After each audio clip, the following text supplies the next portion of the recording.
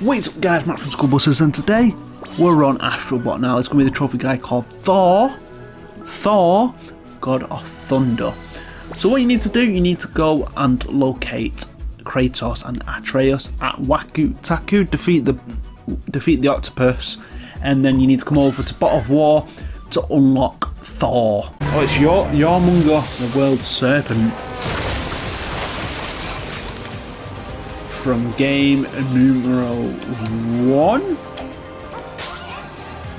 Yeah, because two, yeah, two we had the the trade, didn't we?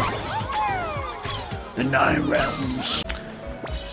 So now we're going to head over to the crash crash site and dive in. So what we need to do, we need to go to the gotcha. Uh, what's it called? Uh, the gotcha lab and we need to go get Kratos' campfire, I believe, something like that. Uh, so let's go and cycle through all this. Come on, please, please. Uh, yes, we have got the wildfire that we need for Thor. Not Thor, Kratos. Kratos, sorry, is, is the next day.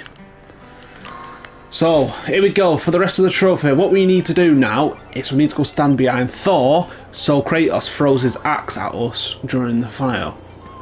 So that's beef. That's beef Kratos. And there you go, that is Thaw, God of Thunder. So there we go, so thank you for tuning in. Stay tuned for more, and I'll see you all soon. Adios.